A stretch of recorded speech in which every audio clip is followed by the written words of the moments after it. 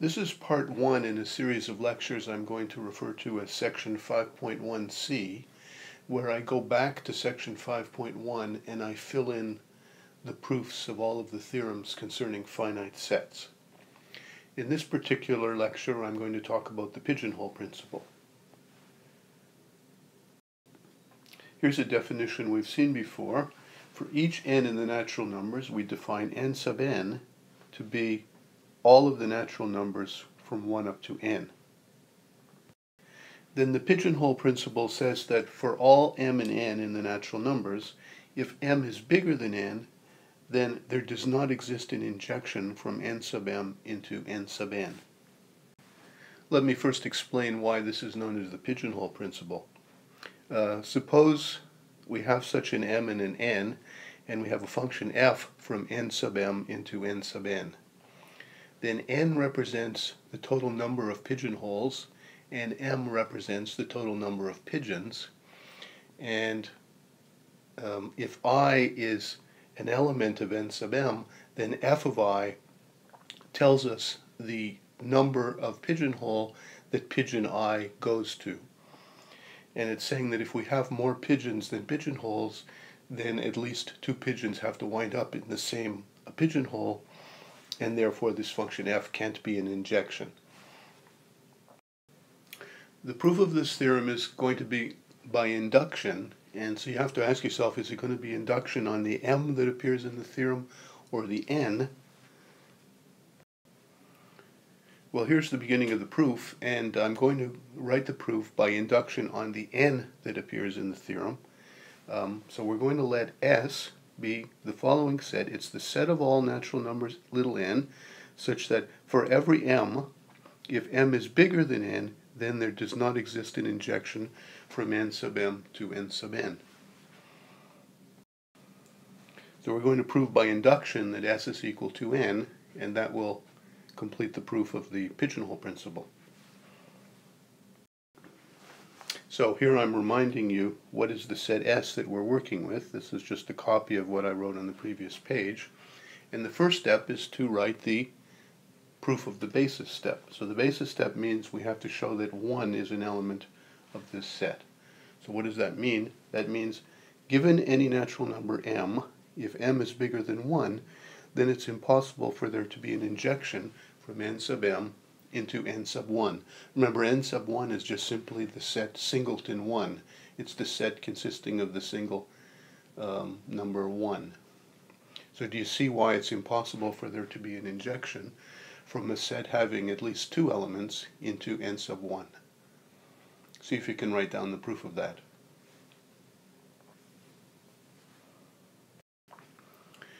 Well, here's my proof of the basis step we have to show that 1 is an element of S. So let's let m be an element of the natural numbers. So I'm just reading from left to right. Let m be an element of the natural numbers. Suppose m is bigger than 1. I have to deduce that it's impossible for there to be an injection from n sub m into n sub 1.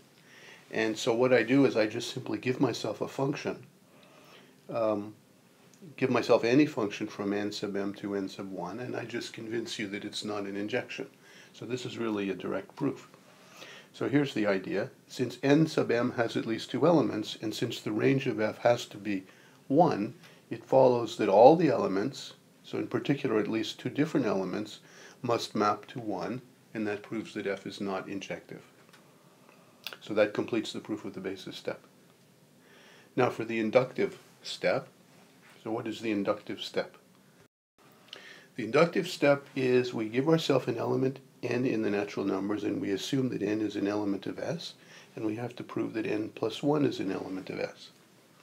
And the way I'm going to do it is I'm going to argue by contradiction. So I have to convince you that n plus 1 is not an element of this set. I have to show you that it's not the case that for all m in the natural numbers, if m is bigger than n plus 1, then there doesn't exist an, in, an injection from n sub m to n sub n plus 1. So let's look at the negation. So I'm, I'm assuming the negation of this statement. And so let's take the negation of it. It says that there exists an m in the natural numbers such that m is bigger than n plus 1 and there does exist an injection from n sub m to n sub n plus 1. So that's what I've done down here. I said suppose n plus 1 is not in S, thus there exists an m in the natural numbers such that m is bigger than n plus 1, and there does exist an injection f from n sub m to n sub n plus 1.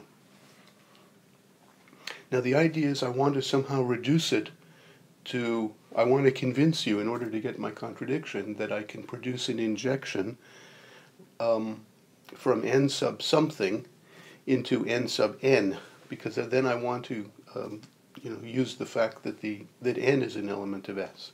So I'm going to consider, so I'm going to look at the very biggest element of n sub m, namely m, and I'm going to see where it maps. If m maps to n plus 1, then, um, so I'm going to consider two cases, the one where m maps to n plus 1, and the, where, the one where m doesn't map to n plus 1. So you see I've written that here. We consider separately this case and this case. This is the easiest of the two cases. If f of m is equal to n plus 1, then for all j's smaller than m, f of j is not equal to n plus 1 because remember we've assumed that f is injective. So only one thing can map to n plus 1. And therefore if we restrict our f down to this set, we know that the restriction of an injection is always an injection. So it's still an injection, but it's mapping not into n plus n sub n plus 1 anymore. It must be mapping into n sub n, right? Because nothing can map to n plus 1 um, in this set. But you see, m minus 1 is bigger than n, and therefore we've contradicted the fact that n is an element of S, right? Because we've produced an injection from this set into n sub n. So that gives us our contradiction.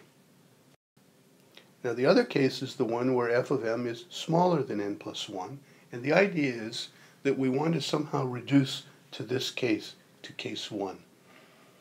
And so we do, uh, in order to do that, we're going to introduce a certain auxiliary function. Okay, so here's our assumption, f of m this time smaller than n plus 1. What I'm going to do is I'm going to define a new function g, and, and the idea is I want to um, permute the elements of the target space n sub n plus 1. So what I do is I, I leave I look at um, the elements n plus 1 and f of m. So the assumption is that those are different from each other. So I'm going to define a new function g, which leaves uh, the element alone if it's neither one of these two. And then for, the, for these two, it interchanges them. If x is f of m, then I let it be n plus 1. And if x is n plus 1, I let it be f of m. So essentially I've taken all the elements of n sub n plus 1 and I've interchanged two of them. So that's clearly a bijection. And now what we do is we take the composition f composed with g. So that's going to map n sub m. f will take us from n sub m into n sub n plus 1.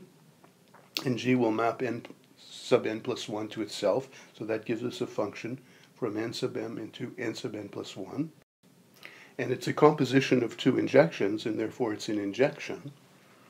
So we have an injection from n sub m to n sub n plus 1, but look at what the image of m is. m, the first piece, takes you to f of m, and what does g do to f of m? It maps it to n plus 1, because of this.